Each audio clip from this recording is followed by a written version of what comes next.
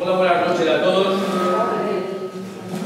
Creo que es una satisfacción para todos, para el Casino 90 y para la Asamblea Municipal Literaria, tener con nosotros esta noche a Leticia Mete también, doctora en Historia del Arte y además del cuerpo facultativo de los museos y conservadores de museos nacionales. Aparte de eso, ya dentro de nosotros, como todos estamos en familia, tenemos que decir que de aquí. ¿Dónde los traes? En la familia. En una familia lo ves en todas partes. De unas cuantas ganas vienen atrás, pero realmente la posibilidad mundial es paisana.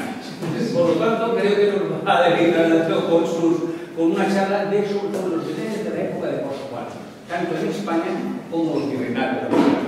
Por lo tanto, creo que en el siglo XVIII vamos a disfrutar viendo unos belenes que hoy en día a lo mejor pueden ver en algún museo, pero entonces era bastante corriente en muchas casas, naturalmente, casas de prestigio, casas de la nobleza, y después también algunos populares que eso nos va a ayudar la población. Le vamos a dar las gracias antes de empezar a Leticia, porque pasamos seguramente una muy buena noche y se lo vamos a agradecer por un aplauso. Gracias.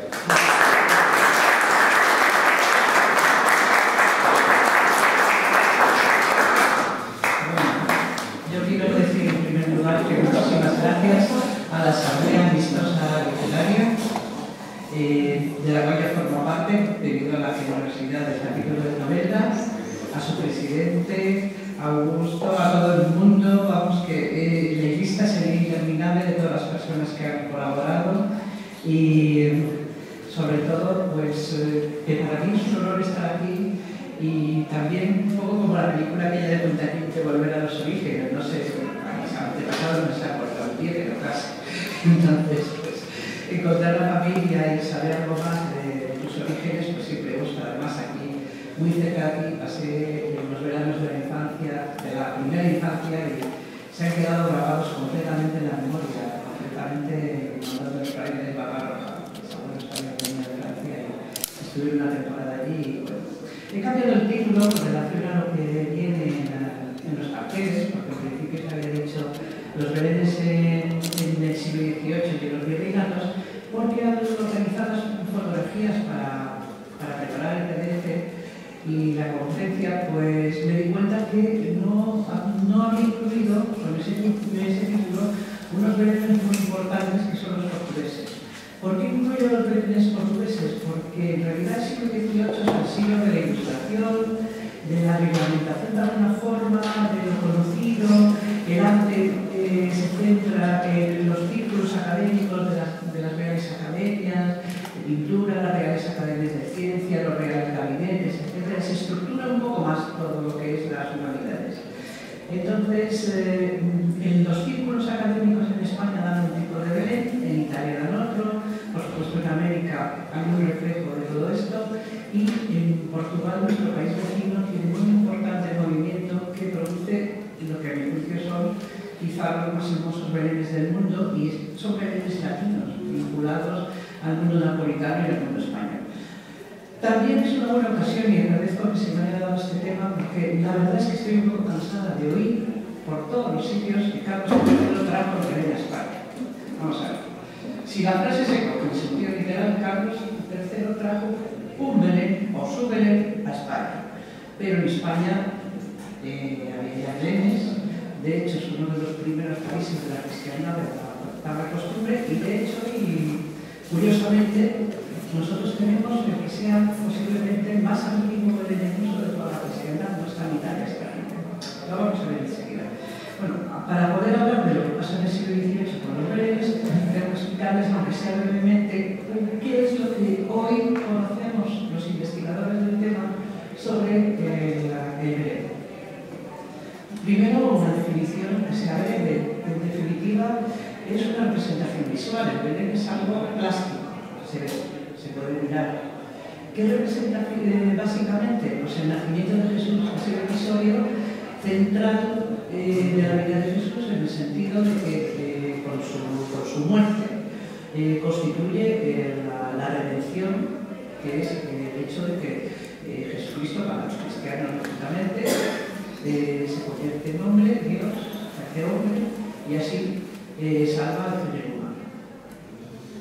Entonces, pues este hecho tan importante para nosotros tenía que, tenía que ser tratado con el sabiduría y con el siguiente respeto.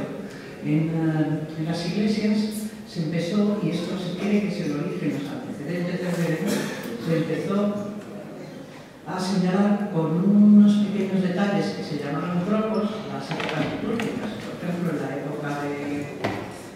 de Navidad, pues una cuna vacía, recuerdo un pesebre de, de los animales vacíos, recordaba que Jesucristo había nacido. Entonces estos tropos pues, se complementaban también para que el pueblo lo entendiera, pues había un poco pues, con, con, el teatro de Navidad, los autos. O sea, cómo representamos al vivo, pues como los pastores encuentran a Jesús en el pesebre y lo adoran, cómo los reyes, gracias a la estrella, tienen conocimiento de que algo está pasando en Oriente y se ponen en camino, etc. Entonces, todo este teatro antiguo necesitaba personajes, necesitaba escenario, etc. Pero también empezó también a generar. Llegó un momento en el teatro lo genera. Pero bueno, todo esto se adelanta un poco. Estamos viendo el Belén de Jesús, que está en esta parte de la, del, diagrama. Es un Belén en forma de gruta, está hecho una capilla subterránea parecida a la trunco de Sepis, a la del Belén, que sería el de Tierra Santa, una evocación de, de Tierra Santa, que es una gruta subterránea también, donde lo sitúa la tradición. Y las figuras son eh, del siglo XV, totalmente anteriores a 1480. Le he puesto las del lado que están eh, la cartuja de San Martino de Nápoles para que pueda um, verse la similitud, pues están atribuidas a los mismos artistas. Los alamanos, los alamanos significan italianos, los alemanes, se supone que eran artistas itinerantes que iban a los sitios a hablar las figuras pues, en, el sitio donde recibían el encargo y mmm, están en por tanto, de izquierda, pero lo curioso es que consta que viajaron hacia España. Arribaron en las Islas Baleares y se quedaron en las Islas Baleares. Así lo refiere la crónica eh, franciscana de, de 1500, me parece que 42. El problema es que las figuras son anteriores. Y lo curioso es que están montadas en una especie de gruta para la fotografía de todas las orejas puestas en fila con los perros a los lados y dos pastores eh. Y esa misma descripción la hace un caballero francés que pasa por Nápoles en 1480, eh, que dice exactamente cómo era el Belén de San Giovanni, que son la, las figuras que quedan lado. El resultado, resumiendo, es que nosotros tenemos un montaje que en una cosa y queda en la isla de Mallorca. Podía ser que los niveles de Valencia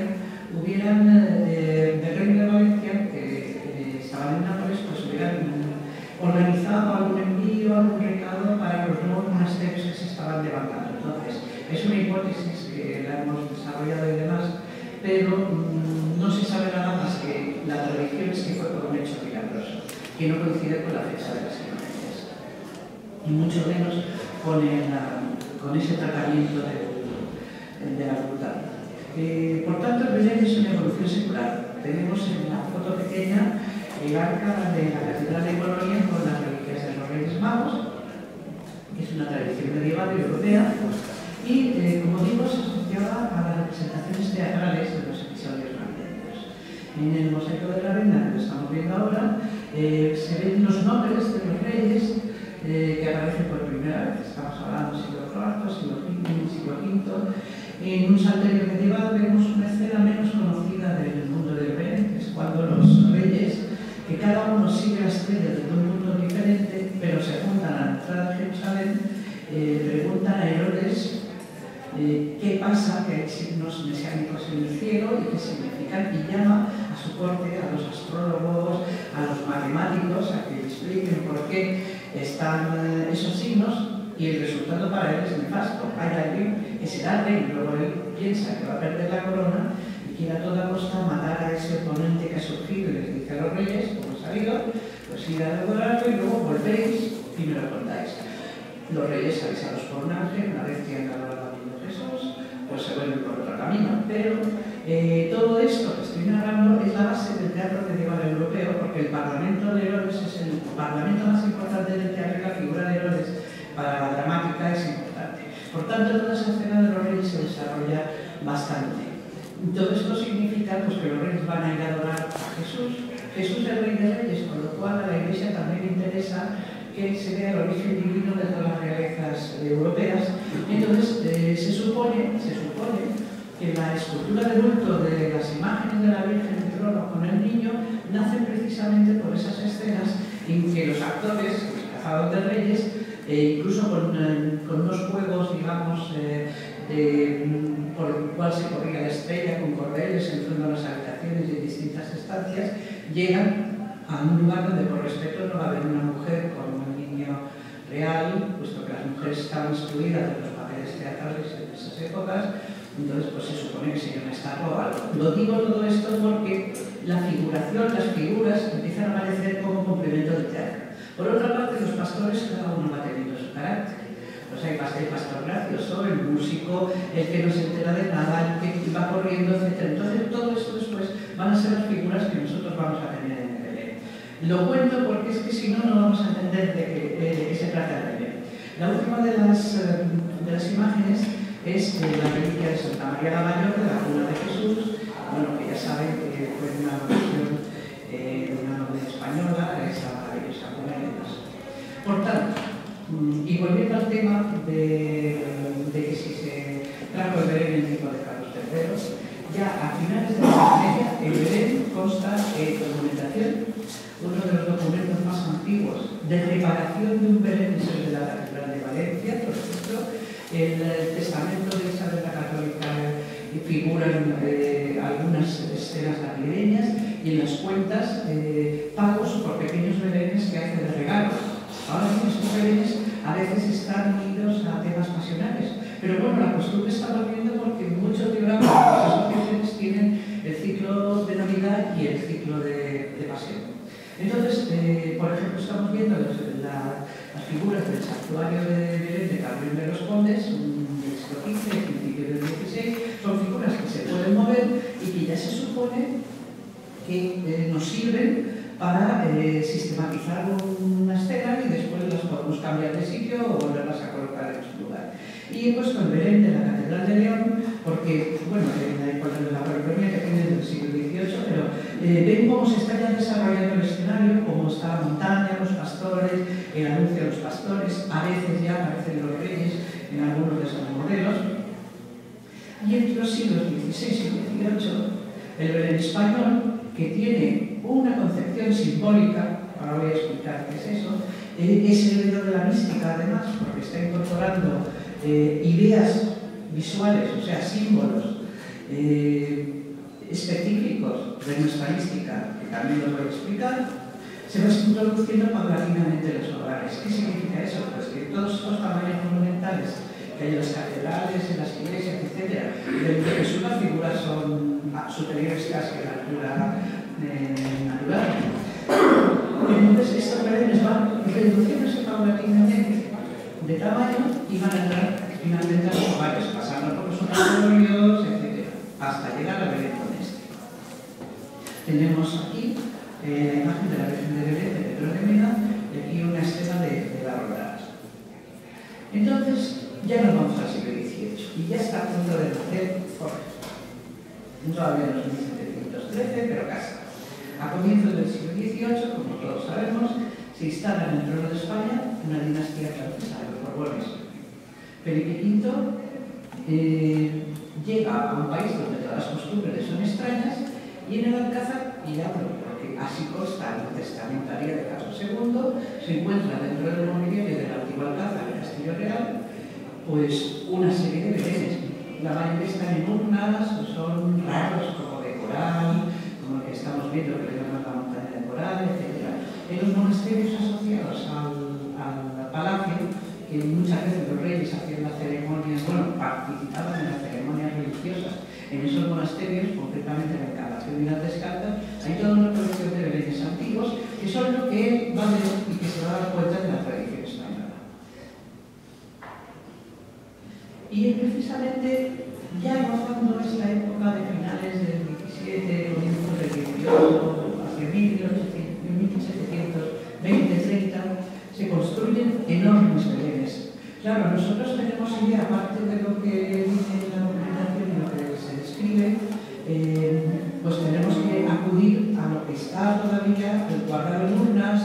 normalmente no son grandes formatos, pero estas son las cuestiones, es un Belén muy grande, que estoy enseñando un, uh, un fragmento, es el Belén del coro alto del monasterio sevillano de Santa Paula.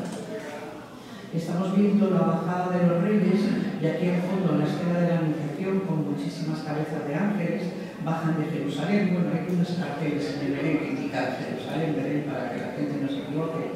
Es un Belén, como digo, bastante grande, pero lo que es curioso y pintoresco de este rey es que, por ejemplo, están los ángeles arriba, formando coros, el Padre Eterno es de los pocos sitios donde está figurado entero, en vez de media, de las nubes, hay una serie de detalles. Entonces, a los otros modernos, esto es raro, porque no es eh, lo que nosotros esperábamos de Belén, tal como nos concebimos ahora, que las figuras están doradas, los edificios son como fantásticos, etc.